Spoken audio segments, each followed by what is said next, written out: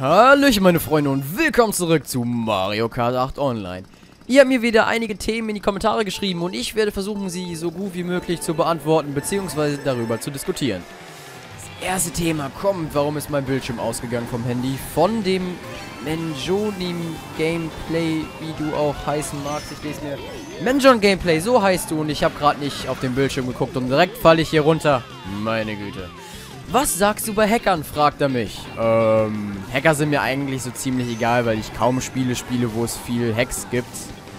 Wobei, ja, GTA 5 Online, eher gibt es da viele Modder. Und ich mag die meisten Modder eigentlich, weil mir letztens ein Modder 9 Millionen gegeben hat. Jetzt muss ich nicht mehr arbeiten gehen. Naja, eigentlich eher Banküberfälle machen, aber ja gut. Je, es ist... Wie soll ich das jetzt am besten sagen? Ja, die interessieren mich eigentlich nicht so, deswegen kann man nicht so viel dazu sagen. Ja, das war knapp. Und was sagst du bei Eltern, die Kinder schlagen? Das ist sowas, was ich persönlich, wenn ich nachher Kinder habe, nie machen würde. Also, was sagst du bei Kindern, die ihre Eltern... Ach so. Okay, umgekehrt. Ähm, Kinder, die ihre Eltern schlagen. Ja, im letzten Video hatten wir ja Thug Life Kinder als Thema und diese Thug Life Kinder die machen das meistens. Also ich glaube, das kennt man aus vielen Assi-Sendungen, wie zum Beispiel auf RTL, Familien im Brennpunkt etc. Ich gucke mir die Serien eigentlich nicht gerne an, es sei denn, ich bin irgendwie zu Hause, hab schulfrei, beziehungsweise nicht schulfrei, bin krank oder so und bin deswegen zu Hause und weiß nicht, was ich sonst machen soll, liege im Bett und schaue Fernsehen. Dann maximal schaue ich mir sowas an und denke mir immer, warum läuft sowas im Fernsehen? Was ist aus dem Fernseher geworden? Wo ist das Niveau hin? Denkt man sich dann immer. Und das ist dann immer... Ah. Ähm, ich finde, Kinder, die so etwas machen, sind verdammt respektlos. Denn ich meine, unsere Eltern sollten wir ganz doll lieb haben. Denn was sie so gesehen alles für uns getan haben, denn ich meine, die haben uns ein Dach über den Kopf geschenkt, geben uns täglich Essen und allein schon dafür sollte man wirklich dankbar sein. Also ich finde sowas richtig respektlos, wenn man sowas machen sollte. Also es gab ja auch Fälle, wo welche Internetsuchtis so gesehen dann ja, ihre Eltern umgebracht haben, weil die Eltern im Endeffekt den WLAN-Router ausgemacht haben. Verdammte Kacke. Ähm, als Eltern den WLAN-Router ausgemacht haben, dass dann Kinder das Messer gezogen haben und die Eltern erstochen haben. Das finde ich extrem brutal und unnötig und unnötigerweise finde ich es auch, dass wir Neunter geworden sind. Ah, minus 14, das tut weh. Das nächste Thema vom Menjum Gameplay wäre, falls du dich mit dem Thema Deep Rap auseinandergesetzt Falls du... Okay, hast. Was hältst du davon? Ähm, auseinandergesetzt habe ich mich. Ähm, aber richtig auseinandergesetzt habe ich mich erst nachdem LeFloid das Spiel Sad Satan vorgestellt hat. Das Spiel aus dem Deep Rap. Ich finde, das Spiel, das hat nichts mehr mit einem Spiel zu tun. Das ist einfach nur noch krank, was mit dem Spiel gemacht wurde. Ich will nicht auf das Spiel weiter eingehen. Denn ich weiß ja nicht, in welchem Alter ihr so zuschaut, denn ich persönlich fand das schon schockierend und ich sehe eigentlich, beziehungsweise ich habe schon härtere, verdammt! Ich habe eigentlich schon härtere Nerven und... Also ich habe schon härtere Nerven, aber das Spiel, das hat mich wirklich nochmal zum Nachdenken gebracht. In was für einer kranken Welt wir doch so gesehen leben. Nicht krank, aber es gibt Seiten, die wirklich krank sind. Also das Deep Web im Allgemeinen ist die Vorstufe. Das Deep Web ist eigentlich äh, Internet, was die NASA benutzt, ähm, um ein paar Daten auszutauschen. Aber dann gibt es nochmal das Darknet, die dunkle Seite des Internets. Ich finde, die dunkle Seite ist ein guter Name dafür, denn was da vor sich geht, das ist... Alter, das gibt's doch gar nicht. Was ist denn los? Oh, ja, Mama. Oh, habe ich die Kurve nicht bekommen. Äh, es geht mir auf die Eier. Also, ähm... Das Darknet, das ist wirklich krank. Ich kann es nur so sagen. Ich habe mich mit dem Thema beschäftigt und ich fand es total schockierend, allein schon als ich ein paar Bilder gesehen habe. Das ist mehr, mehr als krank und ich sag's mal so, Menschenhandel ist da noch etwas völlig Normales bzw. harmloses und wenn Menschenhandel da etwas harmloses ist, dann könnt ihr euch vorstellen, was wohl die härteren Dinge werden. Das ist echt krank und ich will einfach nicht weiter auf das Thema eingehen. Also wenn ihr wollt, dann könnt ihr euch selber informieren. Aber ich weiß, wie gesagt, nicht, äh, was für ein Alter hier welche zuschauen und deswegen will ich nicht weiter darauf eingehen. Ähm, das nächste Thema von ihm wäre, habe ich schon mal... Das kann doch einfach nicht wahr sein! Weißt du, jedes Mal, andere bekommen gar nichts ab und ich bekomme einfach mal 100.000 Red Shells in den Popo gepumpt. Das ist nicht nett, Spiel. Überhaupt nicht nett. Das nächste Thema von ihm ist, habe ich schon mal Briefe oder so nach Hause bekommen von der Schule, als ich Scheiße gebaut habe? Eigentlich nicht. Ich bin eher so der Ruhigere, wenn man mir das auch nicht glauben mag. Aber in der Schule bin ich der Ruhigere. Ich höre gerne lieber zu, als irgendwie Scheiße zu bauen. Scheiße bauen tue ich auf der Klassenfahrt, die morgen ist.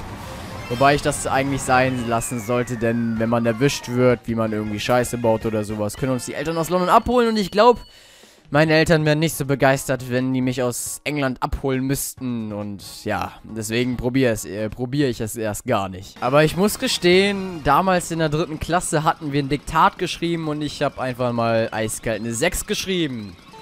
Da habe ich den ersten blauen Brief bekommen und das war auch der letzte. Seitdem habe ich keinen blauen Brief mehr bekommen. Aber das war eine unangenehme Situation. Ähm, mein Vater hat den Brief gesehen und eigentlich ihn direkt zerknüllt und in den Müll geschmissen. Ähm, mein Vater geht ehrlich gesagt ein bisschen chilliger damit um. Also ihm ist es eigentlich relativ egal, aber hätte meine Mutter das erfahren, hätte ich wohl fünf Monate lang Hausarrest oder sowas in der Art bekommen und hätte nie wieder eine Konsole anfassen dürfen. Aber sie hat nichts davon erfahren und ich bin gerade allein zu Hause, deswegen kann ich so offen darüber reden. Denn sonst hört meine Mutter alles, was irgendwie ein bisschen gruselig ist. Aber auf jeden Fall ist egal. Ähm, ja. Das nächste Thema von Fabian Steinleit Nerv. Ich kann deinen Namen gerade nicht richtig sagen. Beziehungsweise ich kann den Namen gerade nicht lesen, weil mein Handybildschirm ausgegangen ist und ich die Kurve nicht verkacken will und ich will nicht nur Minuspunkte hier in dem Spiel bekommen. Er hat mich gefragt, ob ich trinke. Ähm, das ist jetzt so ein Thema, wo ich nicht weiß, wie ich richtig anfangen soll. Und zwar, ähm, ja. Er weiß, Alkohol ist zwar ab 18, aber ich muss sagen, da, nein! Oh, das ist Kacke! Jedes Mal die gleiche Scheiße hier mit den Red Shells. Es kann nicht sein, dass ich so auf welche abbekomme. Auf jeden Fall, ähm, wir wissen alle, Alkohol ist ab 18 und, ähm, ja. Also ich finde persönlich, wenn man reif genug damit umgeht und weiß, wann Schluss ist, dann kann man auch unter 18 Mal Alkohol trinken, was bei mir der Fall ist. Aber wenn dies nicht der Fall ist, dann würde ich persönlich es sein lassen. Okay, das haben wir noch gut angestellt. So, Vierter sind wir. Wir müssen mal Vierter werden und Pluspunkte bekommen. Auf jeden Fall, ähm, gelegentlich. Momentan eher selten, weil ich mich eher so, weiß ich nicht, nach, nach einer Feier bin ich halt immer total müde und so. Und dann kann ich mich einen Tag lang nicht so auf YouTube konzentrieren. Und das ist für mich ein verlorener Tag und deswegen mag ich es momentan nicht so gerne. Also manchmal, nicht oft, nicht falsch verstehen. Also ich bin nicht so ein Thug-Life-Kind, was dann so jedes Wochenende so Party hat macht, YOLO, Leben genießen und so, ne? Sowas eher nicht. Also das mag ich auch eher gar nicht. Also, ja. Wie gesagt, ich bin da eher der ruhigere Typ. Komm, erster. Nein, ich hab die Kurve verschissen. Komm, komm, komm. Bam, Junge, erster geworden. So, das nächste Thema wäre, beziehungsweise Frage, werde ich mal Final Fantasy oder andere Rollenspiele let's playen? Nope. Tut mir wirklich leid, wenn das dein Wunsch ist, Jonathan. Aber ich werde das nicht tun, denn Kanalprinzip ist, Horror Nintendo. Und ich will mich auch dran halten und nichts anderes spielen. Es wird vielleicht mal eine Ausnahme geben bei irgendeinem Spiel, was ich unbedingt spielen will, aber sonst eigentlich nicht. Ich könnte sowas mal streamen, aber ich bin ehrlich gesagt nicht so der Fan von Final Fantasy. Angucken tue ich es mir. Ja, ich habe mir vielleicht ein, zwei Let's Plays angeguckt, aber ich bin wirklich nicht der Fan von Rollenspielen. Ich glaube auch, ähm, sowas wie The Witcher ist ein geiles Spiel, aber ich mag es nicht. Das ist nicht mein Fall, also das Spiel ist wahrscheinlich geil, kann ich nicht beurteilen. Ich guck's mir nicht so gerne an und ich mag's auch nicht, aber ja gut. Denn wenn ich sage, ich mag ein Spiel nicht, interpretieren manche so, was, du sagst, das Spiel ist scheiße, ich habe ich nie behauptet. Ich kann es auch nicht beurteilen, weil ich es selber gespielt habe und ich habe auch gar keine Ahnung von Rollenspielen, weil ich solche Spiele eigentlich so gut wie nie spiele. Also, yay! so, Mike hatte noch einen Themenvorschlag. Ähm, mag ich Fußball? Das ist äh, eine Frage, wo ich Ja sagen kann. Spielen tue ich es nicht. Habe ich mal gespielt damals für, ich glaube, ein Jahr insgesamt. Und dann hat mir einfach die Lust gefehlt. Ich glaube, da war ich acht oder so. Auf jeden Fall Ewigkeiten her. Aber ich spiele keins mehr. Ähm, ob ich gut im Fußball bin, könnte man mich noch fragen. Ich glaube, ähm, eine Mischung von mittel bis schlecht äh, bin ich sowas in der Mitte. Also ich bin kein mittelmäßiger und kein schlechter, ich bin sowas in der Mitte, so ein Fußballspieler. Im Übrigen bin ich auch Leverkusen-Fan. Hoffentlich habe ich nicht hier ein paar abgeschreckt, als ich gesagt habe, ich bin Leverkusen-Fan. Aber normalerweise dürfte es euch nicht stören, glaube ich zumindest. Denn Leverkusen ist, so, ist, nicht so ein Hassverein wie andere Mannschaften. Aber ich will jetzt keine Namen nennen. Ich will keine Namen nennen. Ähm, Im Übrigen hat er mich auch gefragt, mein Lieblingsspiel. Das ist eine verdammt gute Frage. Da ich Nintendo Horror mache, werde ich mal Nintendo-mäßig und Horror-mäßig meine Lieblingsspiele raushauen. Ähm, Nintendo-mäßig ist das eine sehr gute Frage, aber ich glaube, Animal Crossing ist so ziemlich das Lieblingsspiel, was ich hart gesuchtet habe in den letzten Jahren. Deswegen würde ich sagen, das ist mein Lieblingsspiel. Ähm, ob ich ein Animal Crossing Let's Play irgendwann anfangen werde, ist eine gute Frage, denn für 3DS-Aufnahmen braucht man eine 3DS Game Capture Karte und meine Eltern sind nicht mehr gut drauf zu sprechen, wenn ich mir was Neues für YouTube kaufe, also wird vielleicht nächstes Jahr kommen, Animal Crossing Happy Home Designer. Vielleicht wird das als Let's Play kommen. Mal sehen, mal sehen. Je nachdem, auch wie ich Geld habe.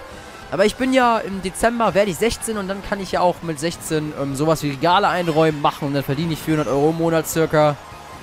Oder weniger. Und dann ist das eigentlich relativ geil, weil ich mir dann sowas auch mal alleine kaufen könnte. Und wenn man als 16-Jähriger 400 Euro im Monat hat, das ist schon eigentlich eine Menge. Quix hatte mich gefragt, wie stehen deine Klassenkameraden dazu, dass ich YouTube mache? Ähm, damals in Playageddon-Zeiten, also noch alter Kanal, ja, da waren die nicht so gut drauf zu sprechen, aber inzwischen hat sich eigentlich verändert und die sind eigentlich schon relativ gut äh, drauf zu sprechen. Machen nicht mehr so viele Witze drüber, so gesehen. Aber selbst wenn da mal ein Witz kommt oder so, ich gehe da nicht drauf ein. Komm, Boomerang nach hinten. Oh, verdammte Mongo-Kacke. Aber sonst hat sich eigentlich gebessert im Vergleich zu damals. Also sie sind froh, dass ich keinen COC mehr mache, weil die das nicht so mochten. Und das kann ich inzwischen auch verstehen, weil das so gesehen eigentlich immer dasselbe ist. Ich habe nichts gegen das Spiel. Es macht mir so gesehen einfach nur noch keinen Spaß mehr. So, die nächste Frage vom Ario Koshival. Ah, okay, ich habe die Kurve verschissen, weil ich auf mein Handy gucken musste für die Frage. Ähm, welchen Job würdest du gerne als Erwachsener nehmen? Ähm, seit der 6. Klasse ist mein persönlicher Wunsch, nachher bei der Sparkasse zu arbeiten. Also Bankkaufmann würde ich sehr gerne werden. Also ich werde nach der 10. Klasse auch aufs Wirtschaftsgymnasium gehen. Also Fachabi, weil das Wirtschaftsgymnasium eine gute Grundlage ist, um nachher bei der Sparkasse anzufangen, um allgemein Bankkaufmann zu werden. Und deswegen freue ich mich eigentlich schon, wenn ich dann mit 18, hoffen wir es, also ich bin mir eigentlich relativ sicher, dass ich dann eine Ausbildung bekomme. Soll nicht angeberisch klingen, aber Hoffen wir jetzt, dass ich da eine Ausbildung bekomme. Die nächste Frage von ihm ist, würde ich mir ein neues Pokémon-Spiel wünschen? Sehr gerne sogar, also, ähm, die Spiele kamen, die letzten zwei kamen immer an einem Freitag raus, dann habe ich es am Freitag gesuchtet und hatte es Sonntagabend durch. Das, das waren immer schöne Wochenende, Enden. Vor allem das Geilste war ja auch noch dran, ähm, das war immer so im Herbst, Ende Herbst. So Ende Oktober ist ja Ende Herbst so Halloween-mäßig und dann ist das immer, finde ich, die geilste Atmosphäre, um solche Spiele zu spielen.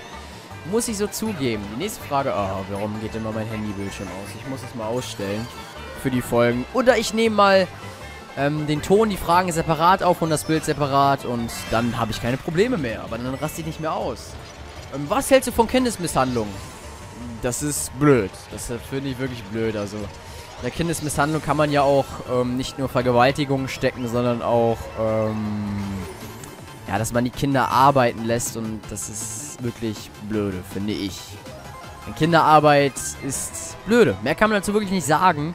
Ich finde, die Kindheit sollte man genießen und nicht sowas in Arbeit stecken oder auch irgendwie vergewaltigt werden. Denn ich habe wirklich ein paar Fälle gelesen, wo dann Zwölfjährige schwanger wurden, aber nicht, weil sie Thug Life Kinder sind, sondern weil es vom Gewaltiger pers äh, persönlich kam und ja, das ist traurig, eher gesagt. Das ist wirklich traurig. Und ich will auch nicht weiter auf dieses Thema eingehen. Heute sind beinahe nur traurige Themen. Da, das ist nicht gut. Es müssen fröhliche Themen reinkommen. Yay. Great. Äh, äh. Äh, nächstes Thema. Äh, bist du Fleischesser, Vegetarier oder Veganer? Äh, Fleischesser. Äh, Fleischesser auf jeden Fall. Ähm, ein Tag ohne Fleisch ist für mich ein verlorener Tag. Also ich bin totaler Fleischesser und ich kann auch nicht ohne, muss ich so zugeben. Es gibt viele, die sagen, yo, ich könnte auch locker ohne Fleisch leben, aber ich nicht. Ich brauche das einfach. Ich brauche den Stoff. Denn ohne Fleisch wäre es für mich kein Leben. Also Steaks und so, boah, geil. Äh, ich krieg direkt wieder Hunger. Wechsel mir am besten das Thema. Ähm, ich hoffe, ich komme als nächstes in Mario Kart Let's Play. Aber sicher doch. Bist ja reingekommen. Ah, zurück. Habe ich den Red Shell kaputt gemacht? Gutes Video, sagte Amadou Keita, wenn ich den Namen richtig ausspreche. Ich kann Namen eigentlich generell sehr schlecht aussprechen. Was halten deine Eltern von YouTube? Äh, denen ist das eigentlich völlig schnuppe, solange ich gute Noten nach Hause bringe. Und sobald ich mal eine 3 oder so nach Hause bringe... Also mein Vater ist es egal, ob ich eine 3 nach Hause bringe. Meine Mutter so... Ja, normalerweise schreibst du ja nur 1 und 2. Vielleicht liegt es an YouTube. Ähm, nächste 3 kommen nach Hause, dann kannst du eine Woche Pause machen mit YouTube. Das finde ich dumm dämlich. Boah, es sind wieder viele Themen heute in der Folge. Freut mich auf jeden Fall. Wird eine XXXL-Folge. XXXL. Okay, ich bin zu sehr im 2020-2020-Mode. Wort drinne von FNAF. Ähm, XXL. Boah, jetzt habe ich die Frage schon vergessen. So verwirrt bin ich gerade. Moment, ich muss die Kurve nehmen und dann auf den Bildschirm gucken. Ah, ich verscheiße die Kurve sowieso wahrscheinlich. Ah, das wird eine XXL-Folge. Genau das wollte ich sagen. Das war keine Frage. Ich bolzen. Ähm, erste Frage vom Easy Excessive. Was hältst du von äh, Cheaten im Spielen? Ich persönlich halte nicht viel von, habe ich aber selber getan, um mir einige Vorteile zu erschaffen, wie zum Beispiel in Sims. Ich hatte keinen Bock mehr so lange das Geld zu erarbeiten, weil meine Sims ja irgendwann sterben und die sollen das Leben genießen mit Geld und so und dann... Aber sonst finde ich äh, Cheaten spielen blöd, weil ja der ganze Spielspaß im Endeffekt weggeht. Also. Äh, was hältst du von Pokémon-Mythen? Habe ich schon in der letzten Folge halb beantwortet, also Spielemythen finde ich eigentlich relativ geil. Ah, oh, wieso geht denn mein Handybildschirm immer aus? Das ist doch kacke. Normalerweise, wenn ich nichts mache, ist 6000 Jahre lang an, aber wenn ich mal es brauche, dann ist nichts dran. Was passiert deiner Meinung nach nach dem Tod? Ähm, ich glaube persönlich an das Leben nach dem Tod. Ja, einige von euch vielleicht nicht, aber, ähm, also ich mach's so. Ich mach's wie mein früherer Religionslehrer in der 6. Klasse. Er hat an den Urknall und an Gott geglaubt. Ungefähr so mache ich's auch ist immer so eine gute Richtlinie, die ich da habe. Wegen, ich bin katholisch und dann, ja, wisst ihr, na, na. ich, ah, es sind so viele Themen oh, und ich bin voll gegen die Wand gefahren, ich bolzen. Ja, ich weiß, wie ich es ab in der nächsten Folge mache, wenn wieder so viele Themen da sind. Ich werde die Themen einzeln aufnehmen und mich da nicht drum. Hardgold ist das beste Spiel, sagt Alshare. Pokémon-Spiel. Finde ich auch persönlich.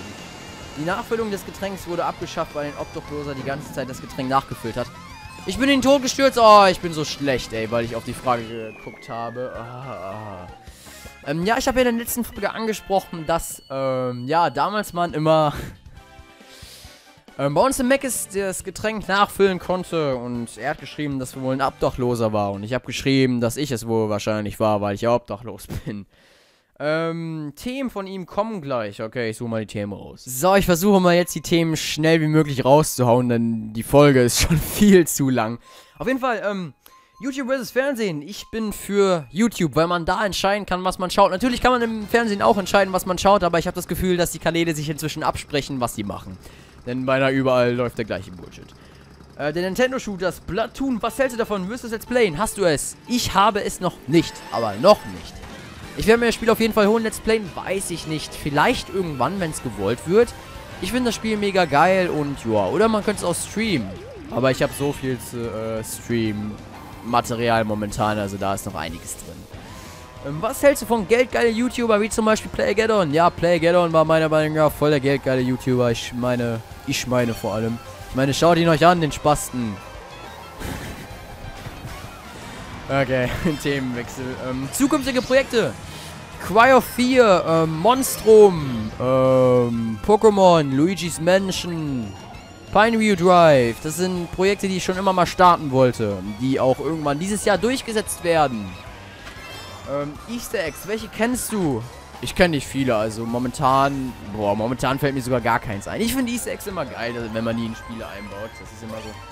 Schnieke. Ähm, Just Perfect hat mich gefragt, werde ich ähm, Pokémon Alpha oder Saphir Let's Playen? Wurde, ach, würdest du eher Pokémon Alpha oder Saphir Let's Playen? Momentan sogar gar keins von beidem, weil mir einfach die 3DS Game Capture Card fehlt, die ich momentan nicht habe und dann kann man das leider schlecht Let's Playen. Ich würde es aber auf jeden Fall Let's Playen, wenn ich irgendwann eine 3DS Capture Card habe. Aber ich würde mich eher für äh, Omega Rubin entscheiden. Warte mal, was habe ich vorhin gesagt? Nicht Omega Rubin, ne? Oh Gott. Ich würde mich für Omega Rubin entscheiden, weil ich Groudon viel geiler finde und ich finde auch, er ist viel stärker als die anderen. Also wenn man sich allein schon die Fähigkeit von ihm anschaut, wenn er diese Omega-Form da hat. Er kann nicht von Wasserattacken angegriffen werden und er ist ein Feuer-Pokémon. Wie OP ist das denn? Das ist mehr als OP. Jo, das wären dann alle Fragen gewesen. Ich hoffe, ich konnte euch befriedigen, indem ich euch, äh, indem ich alle Themen reingenommen habe. Ich hoffe, es freut euch. Das war eine XXXXXXXXXXXXXX Folge. Jo, falls ihr Themen habt, schreibt sie unten in die Kommentare rein. Ich bin mir nicht sicher, ob ich alle Themen in der nächsten Folge beantworten kann. Und wenn dies der Fall ist, bitte seid mir nicht böse, aber ihr habt gesehen, wie viele Themen es waren und es ist verdammt viel gewesen, also. Aber ich bin fröhlich, dass ich inzwischen so eine Community habe, die sich so sehr für Mario Kart interessiert und die ihre Themen in den Folgen sehen wollen. Dann würde ich sagen, das war's mit dem heutigen, mit der heutigen Folge Mario Kart. Wenn euch das Video gefallen hat, lasst es mich in den Kommentaren wissen. Eure Themen in die Kommentare würde mich auch sehr freuen und ich sehe dich in der nächsten Folge. Bye, bye.